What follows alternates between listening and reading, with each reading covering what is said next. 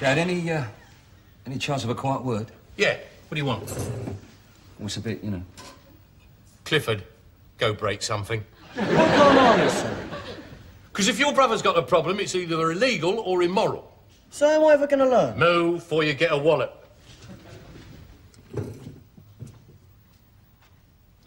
Right. What's your problem? Well, it's Penny. It looks as if she's been and got herself pregnant. Well, there's a clever boy. Well, my fault? No, of course not. You was just playing leapfrog. I mean, it wasn't all my fault. It takes two to tango. You should have stuck with the gentleman's excuse me, son. Then you wouldn't be in this mess.